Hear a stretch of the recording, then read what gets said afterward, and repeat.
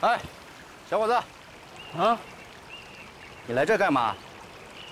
怎么跑这来了？啊，呃，我我是大学生，到这儿来采风的。哎，大哥，不是你们知道到澄海市怎么走吗啊，大学生啊，啊，去澄海，那你可走错路了。去，我是第一次来，又不认识路，这不走迷路了吗？好不容易看条小溪，我心想着顺着小溪走就能走下山了。大哥，你们是干嘛的？啊，我们是贩中草药的，也去澄海。是吗？你要去澄海，那你跟我们走吧。你们认路？去澄海市得往山走一大截，半山腰有一条小路，咱们从小路上插过去，比山下的大路近好几十公里呢。是吗？哎呀，我这我 我总算遇见认识路的人了。那大哥，这样，我就跟你们走了。那你走前面，我们跟着你。别啊，我又不认路，还是我跟着你们走吧。走山路要前后跟紧啊。你走后面。好，那你跟着我。哎哎，大哥，呃，咱得走快点，我这到澄海市啊还得赶飞机呢。我虽然不赶飞机，但我也有急事。走吧。哎，跟着你们走啊。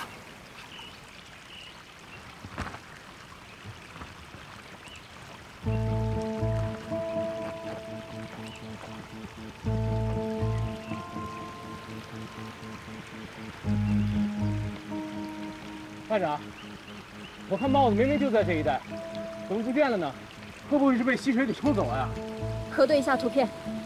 好。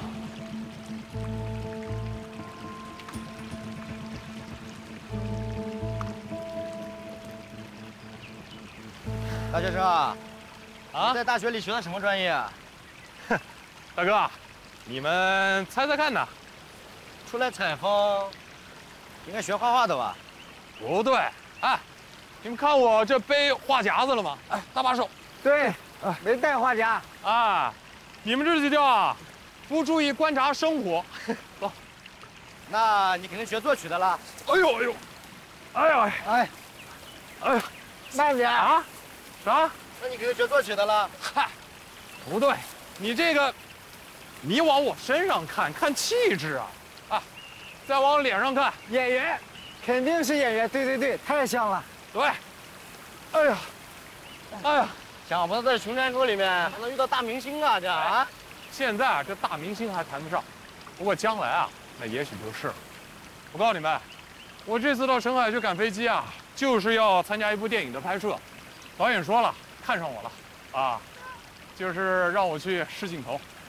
试镜头啊，嗨，我跟你们说这么专业啊也没用，你们也不懂。实话告诉您吧，我这次要出演的可是一名机智勇敢的人民警察。那你并不是真警察。哎，我告诉你啊，我可演什么像什么。你是准备演警察，还不是真警察？对啊，啊，这我们就放心了。不是，这难道还有什么不放心的吗？对不起，大明星，我还不知道你叫什么名字呢。好，我忘了介绍了，我叫霍德。哎，不过以后啊，我一定会取个艺名，叫霍德艺名。怎么？咱咱走吧，这要不然就赶不上飞机了。哎，哎呀，这山上到处都没有信号，想打个电话、订票都不行。哎，看，这块石头就是这块，百分之百就是这儿。这么说，从直升机上拍摄的侦察画面到现在，霍德回来过这里，并取走了帽子。沿着溪水往下找，就能到达山脚下。他应该是往下游去了。马上把这个情况报告给指挥部。好。洞洞幺，洞洞幺，我是特战一号，我们已到达粉色帽子处，但帽子已被人取走，应该是往山下走了。好，洞洞幺收到，沿溪水向下游寻找。收到，明白。班长，如果霍德就在附近的话，我们大声呼叫几声，他如果听见了，肯定会回应的。是个办法，试一试。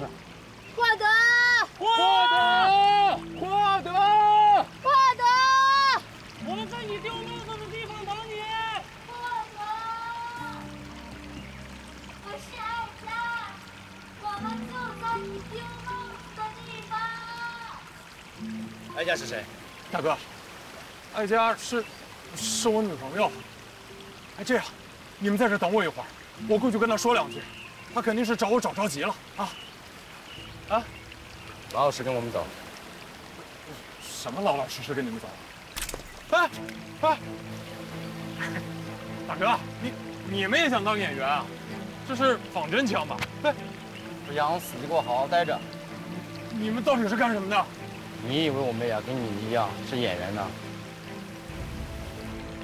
你们是坏人，是持枪的歹徒。少跟他废话，宰了他得了。爱卿，我在这儿，张有坏。我听到有人喊了，好像是在山下的方向。获得！获得！获得！获得！获得！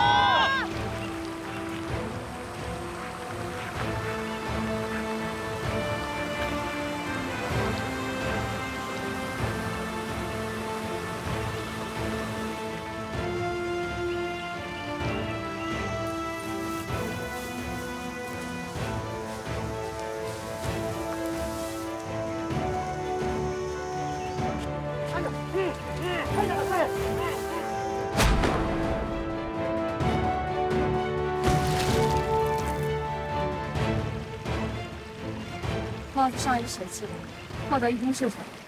很有可能已经被嫌犯抓走了。我想起来了，刚才我听到的声音就是获得的喊声。他在说：“我在这儿呢，这儿有坏。”有坏人是吗？对，一定是没喊完就被嫌犯控制了。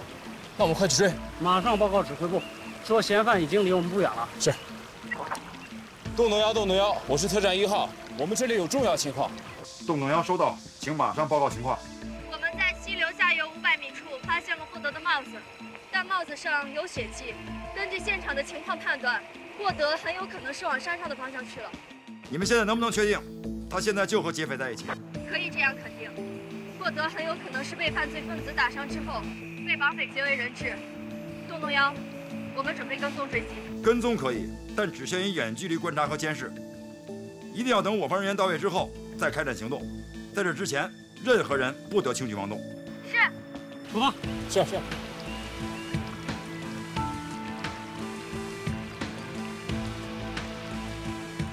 韩旅长，停止拉瓦式搜捕，马上增援特战一号。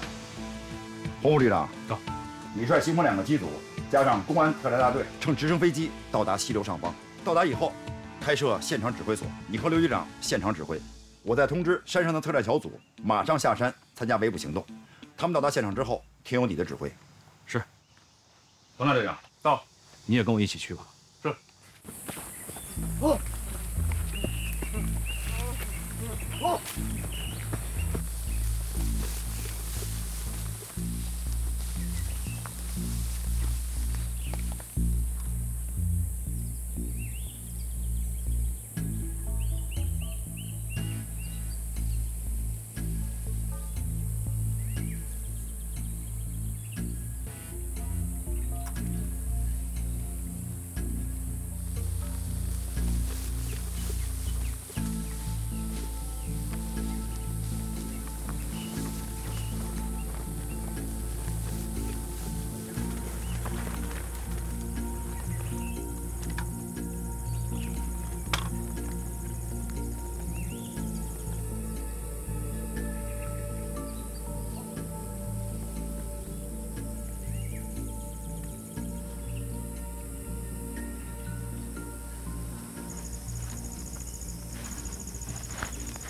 马上报告指挥部，我们正前方一百五十米处，三人向山顶方向。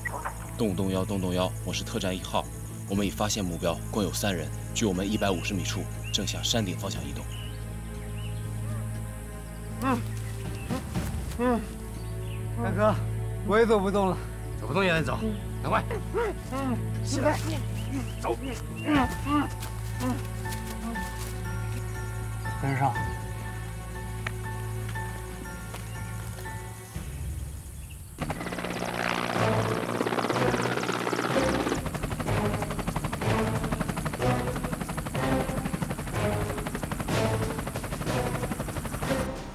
洪副旅长，左侧三百米有三个人影在活动，很有可能是我们跟踪的目标。望远镜。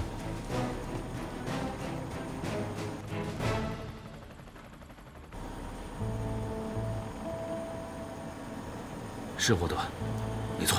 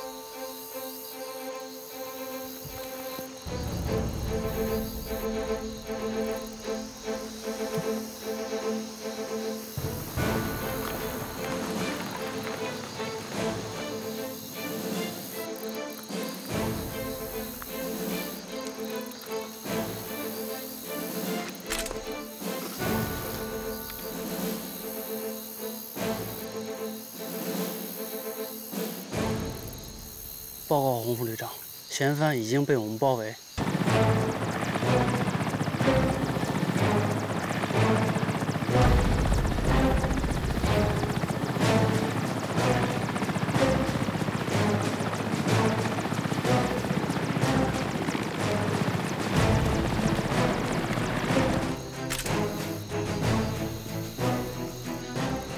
嫌犯就在前面的树丛里，霍德也在，所以我们不能还击。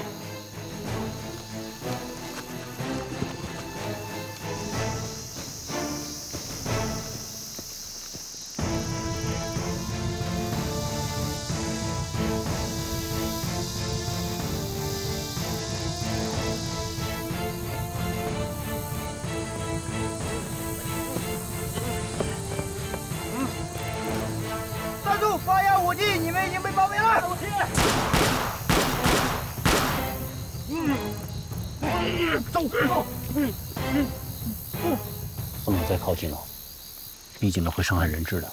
这两个家伙很狡猾，霍德还在他们手里，射击角度对我们十分不利。再这样僵持下去，对霍德不利，对我们也不利啊！是啊，得想办法把劫匪调度出去，然后再找机会。洪副旅长，马上让包围劫匪的队员还有特警退后六十米。是。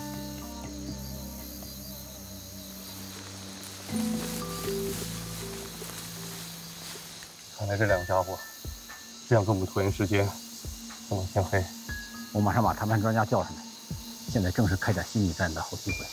队长，等他们从公路上爬上来，已经来不及了。洪副旅长，我可以上去。你，刘旅长，小生是我们山豹旅心理战大队的大队长，心理战专家，我把他叫来有用场。刘局长，我参加过多次解救任务，这种场面我见过。哦，原来是这样。部长，和我等一会儿。现在谈判时机还不太成熟。好的。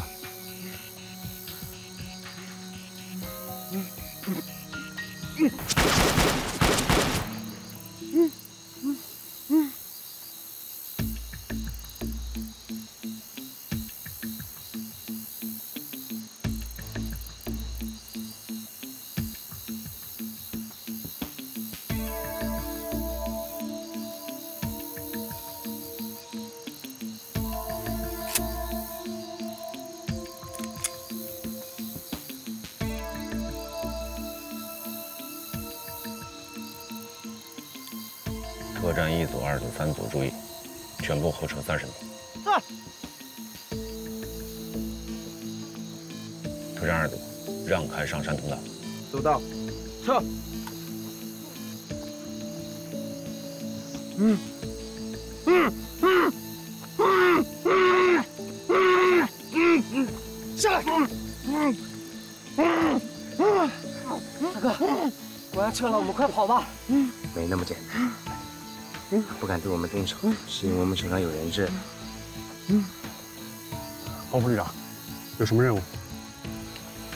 林子探秘，在地面上很难找到合适的狙击角度。等一会儿你要亲自架起升空。明白。什么时候起飞？你先在这里跟我们一起观察，熟悉一下两个嫌犯的特征。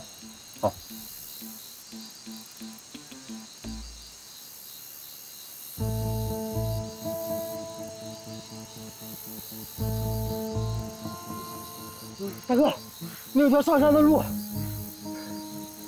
嗯嗯嗯嗯，二闪快，跑！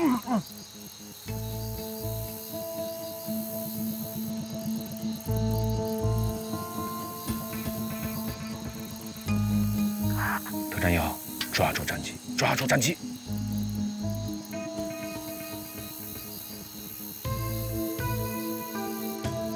趴下找死！趴下！等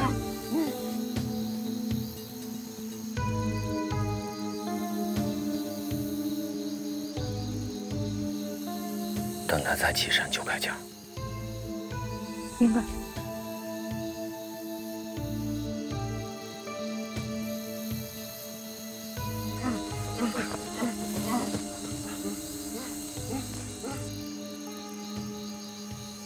这狙击手是你的兵，一名大学生士兵，太冷清了，非常自信。你经过十年以上的训练，而且不是击毙过活体的冷酷型枪手，是很难做到这样心静如水的。要是新手的话，不可能不失误。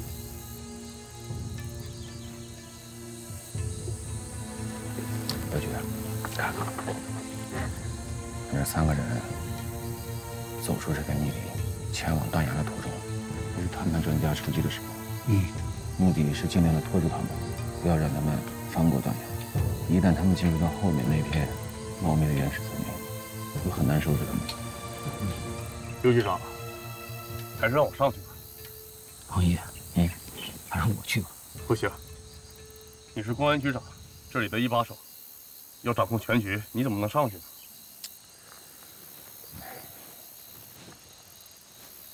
两个歹徒十分危险，一定要小心。你放心，我上去呢有一个好处，就让霍德看到我，他看到自己人就会坚强振作起来，主动与我们配合，这是最重要的。第二呢，我可以分散歹徒注意力，为侧面狙击创造机会。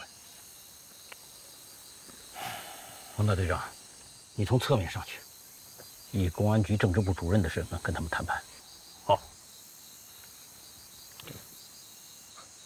这就不用了。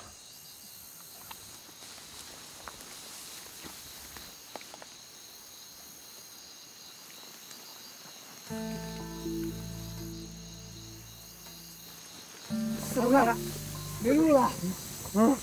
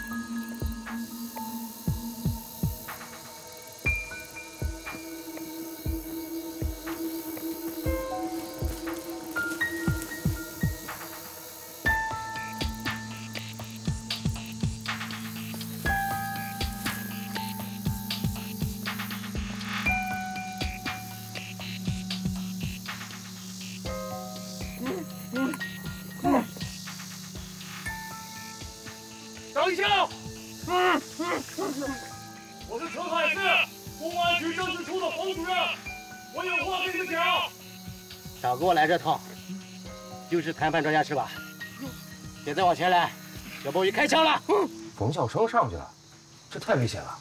不要急，冯笑生是心理学家，心理战是他的专业，要相信弘毅和刘局长他们的现场处置。你们现在答应我的条件，我们就给你们一个机会。你们想想，在馒头下去还有什么用？就剩我一个也看见了，公安的特警和解放军的特种兵，你们也被团团包围。现在，我们考不重要，只有死路一条。你说说，什么机会？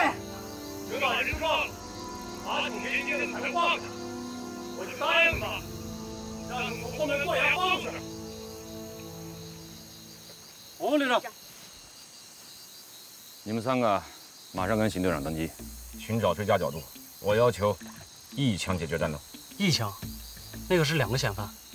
两名嫌犯手里各有一支枪，如果第一枪只消灭一个敌人，那第二个人就很有可能会对霍德下毒手。明白了吗？明白。来，来看啊。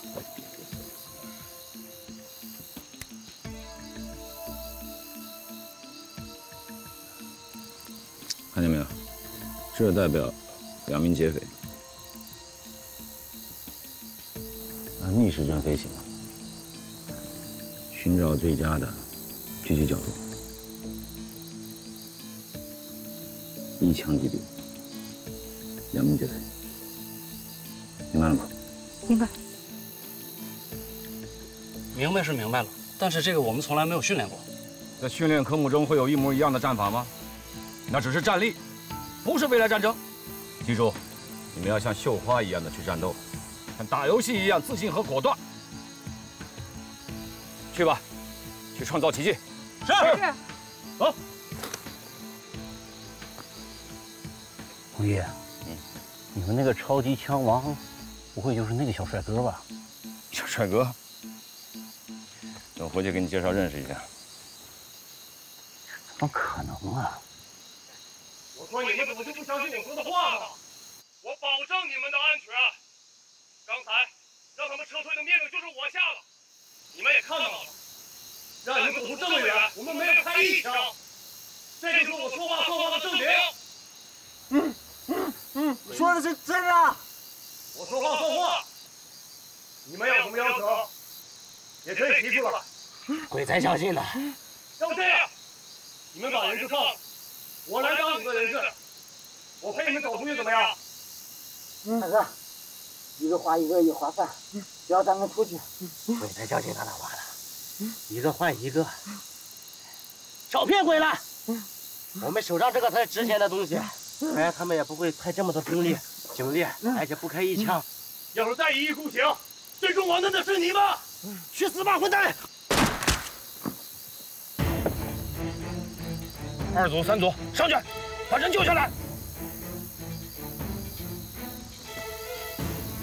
别动！等一下，原地不动。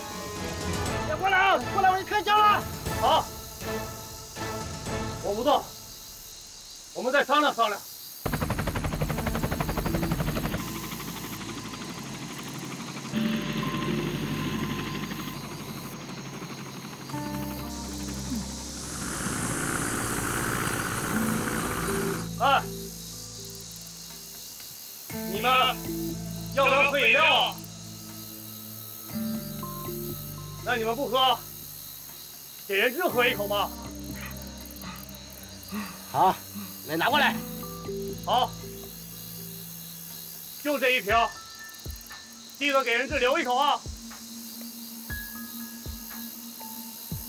嗯嗯嗯嗯嗯，回来。嗯嗯，哪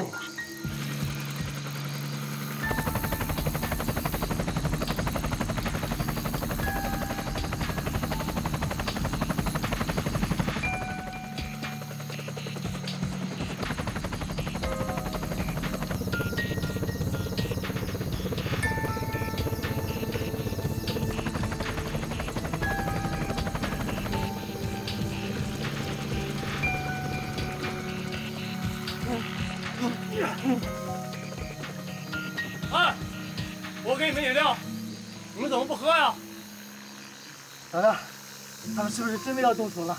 哇，咱们手上有这个人质。你们退后！来，我真的很想打死他。好，我撤回去，把我撤回去。好，我退，我退。别动！田队长，再下降五米，三点钟角度为最佳射角。明白。做好射击准备，我飞最后一圈。大家，五发子弹我都检查过了，只要一发。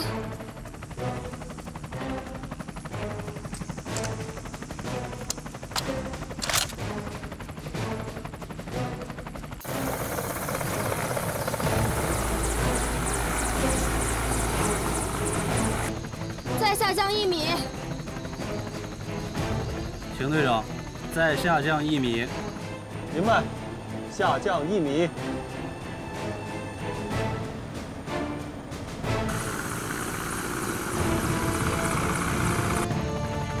最后半圈。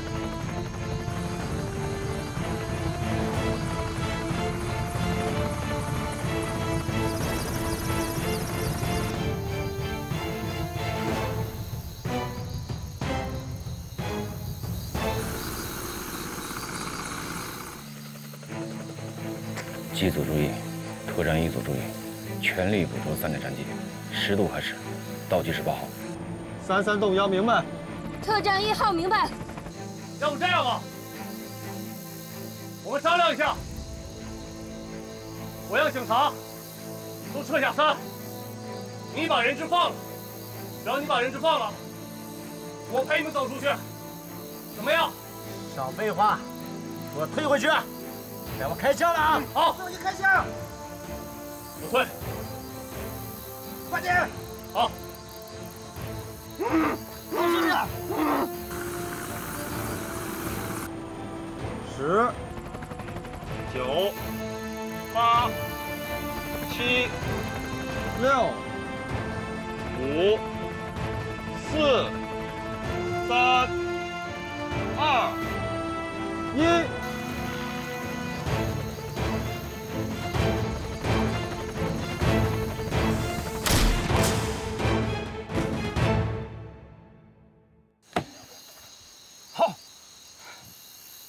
神奇了，奇迹啊！打中了，打中了，打中了，穿糖葫芦。艾佳，艾佳，你怎么了？你的任务已经完成了。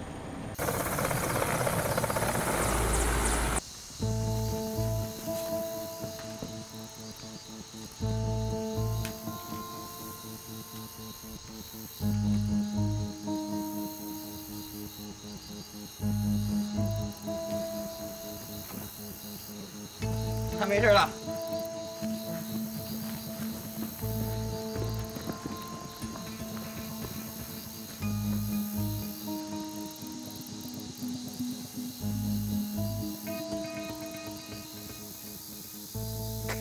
报告局长，两名劫匪已被击毙。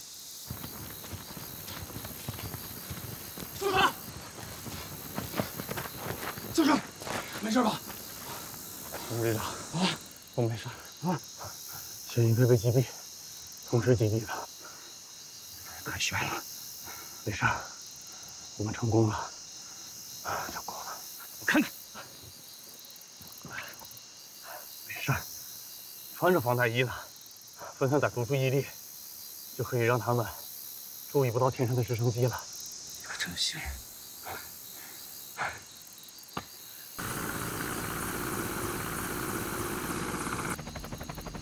孟涛，我们现在马上返航。艾佳，他怎么了？艾佳，我们胜利了，可以回家了。艾佳，打中了。艾佳，艾佳，艾佳，艾佳。洪副队长，方大队长，你没事吧？洪队长，洪队长，洪队长，洪队长，洪队长，洪队长，你这个小兔崽子！你知不知道？为了救你，冯家主任差点把命丢了啊！放放开我！给我等着，回去再收拾你。我。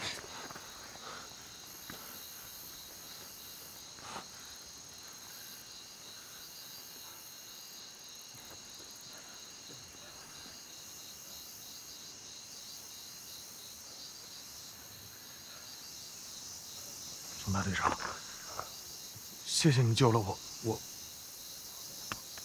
我错了。小谢，就谢艾佳。刚才那枪是他开的。艾佳？他在哪儿？艾佳，艾佳，艾佳，我们胜利了，可以回家了。艾佳，艾佳，邢队长，邢队长，艾佳晕倒了，需要急救。我知道了。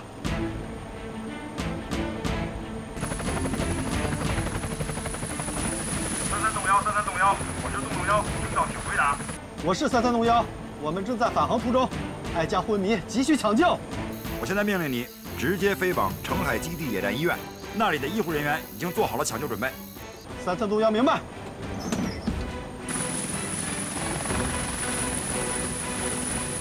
作为一个女孩子啊，毕竟是她第一次执行这种极端、特殊，可以说是残酷的任务。那内心呢，肯定有高度紧张，导致了心理障碍，再加上啊过度疲劳、精力高度集中、紧张，引起了休克。但是目前呢，血压已经恢复正常了，只是需要一段时间静养。哎，领导，你们请。好，我去吧。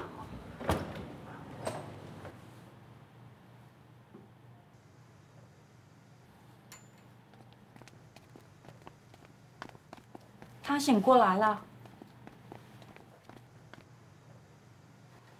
艾佳，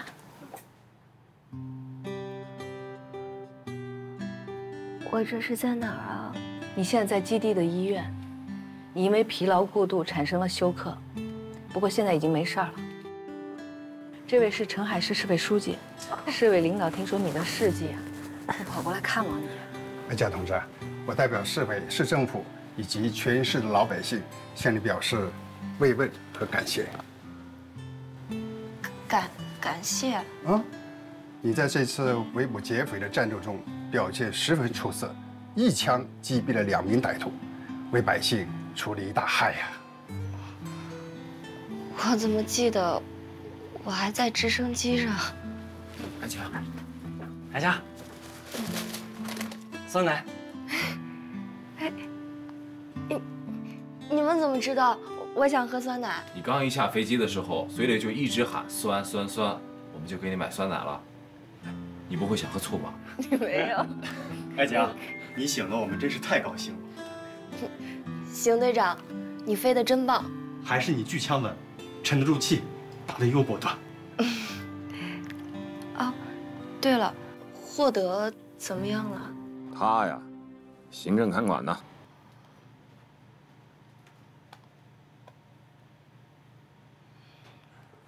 刘局，哎，没想到艾佳还是个女战士啊！啊，是我们唯一的一名女特战队员。这么短的时间训练出这么优秀的狙击手，真是无法想象。哈，她很努力，也有天赋，再加上我们科学的训练方法。慢走啊！哎，慢走，慢走，哎，慢走，慢走，谢谢，谢谢。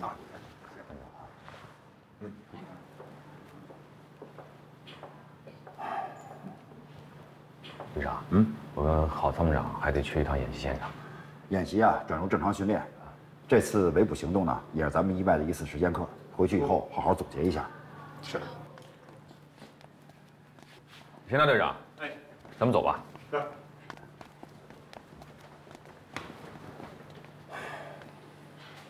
走吧，咱们去看看那位大明星吧。已经二十四小时了，怎么处置啊？你谈谈你的想法。其实啊，要按军队的法律和纪律处置很容易，把他交给保卫处，保卫处呢会把他送到军事检察院。但是我觉得这孩子后半辈子就毁了。这件事情的影响太坏了，对部队的震动也不小。处理轻了吧，不合适；处理重了，对他本人。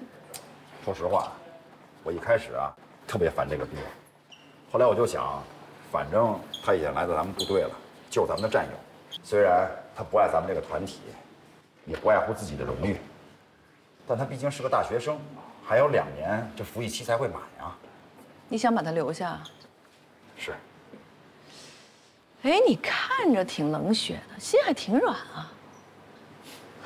你是不知道，当时我看见劫匪劫持他，用枪指着他的太阳穴，我觉得这是对军人的一种莫大的耻辱。可后来我看到他那么脆弱，又那么无助，你知道我想什么吗？我当时就想啊，如果不把他给救出来，我的良心肯定会受到谴责的。咱们都别那么早下结论，先找他谈谈，听听他是怎么想的。这件事儿咱俩都有责任，谁也逃不了。哎，这责任呢，主要在于我。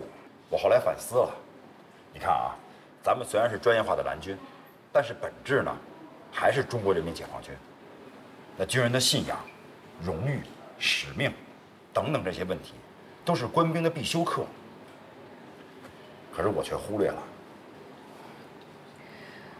这样，他是走是留，等咱们跟他谈完话了再决定。我听他艾佳说呀，他要当明星。他要是觉得当兵是一种负担，对这个职业既没有热情，也没有兴趣，那咱们留着他也没多大意思。那就按照纪律条例，该怎么处置怎么处置，退伍走人。咱也别耽误了一颗明星燃升起嘛。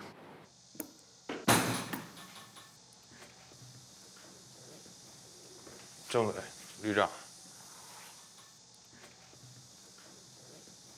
霍德，你说我怎么说你好？当初你刚进军营，我认为呢，你的身体素质很好，像一个真正男子汉，就把你分到了特战队，因为那是男子汉向往的地方。可是你呢，一进特战队，整天是叫苦连天。我真不明白是为什么，是真吃不了那种苦吗？后来应你个人的要求。把你分到了机步营，你知道我怎么想的吗？你只要服完两年的兵役就可以了。可是你怎么就走到了今天这种地步呢？我不想失去这次机会。你要真的时来运转了，我们都不阻拦你。政委、旅长，阿蒙是我的同班同学，他现在火得不得了，就是因为当初顶替了我的角色上来，他得到了一次机会就成功了。哪个阿蒙？阿蒙你们都不知道，就是现在穿越剧里边最火的演皇上那个。哦，那个阿蒙，我好像在哪个报纸上见到过。哎，没错，就是他。他现在可是大明星，原来名字可土了，改了名才成名。所以你就不服气啊？啊？要跟他攀比啊？没有。他，他给了我一次机会，可以说是千载难逢。你们也知道，这机会对于一个人来说只有一次。上次我是因为追随艾佳来当兵，所以失去了一次机会。我不想再失去这个机会。是什么样的机会，让你冒这种险，和两个歹徒混在一块儿？你们看。你去会议室，把昨天的报纸拿来。是。你坐吧。男一号。是位中国刑警，负责保护美国大腕斯特里普来中国巡演。其实你呢，演的就是他的私人保镖。你武艺高强，多次使斯特里普化险为夷。哎，你看后边这，二人坠入爱河，演绎出前无古人后无来者的跨国姐弟恋。这是一个极具浪漫色彩、英雄救美的故事。你到后。马上开机！斯特里普在中国只有十天的档期，千万不要错过。等你的好消息，阿蒙。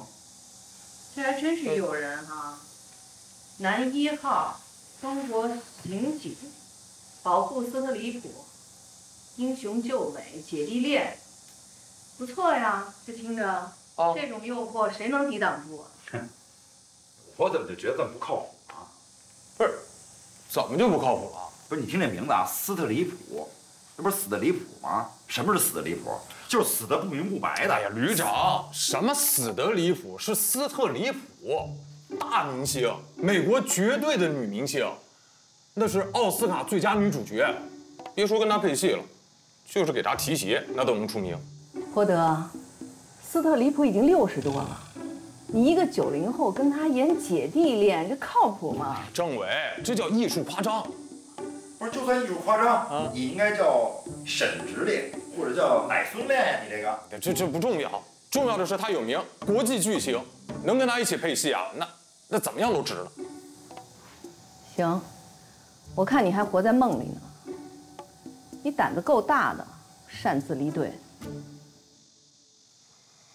政委，哎，我当时是想，我毕竟当兵就两年，但是我要是出名了，那可是享用一辈子。所以，所以你就当逃兵，是吗？去扮演什么中国刑警？就你这身手还扮演中国刑警呢？你刚出门就让两个劫匪给劫持了，让人给打得鼻青脸肿。不是你怎么演啊？你不是给中国刑警丢人吗你？我跟你说啊，我都不忍心看那个监视画面。我当时就想，你还是我的兵呢，你就这么熊，你都给我丢人。那我哪知道？这这坏人现在这么多，他们脸上又没写着劫匪两个字。我要真是特种兵倒好了，可，哎，这几百年遇不上的事儿让我给碰上，真是几千年碰不上。最后不是还有一出英雄救美呢吗？旅长，你就别损我了。我没损你，我说的英雄是人家艾佳，人家一枪打俩把你给救了。你是美男子，人是英雄，英雄救美。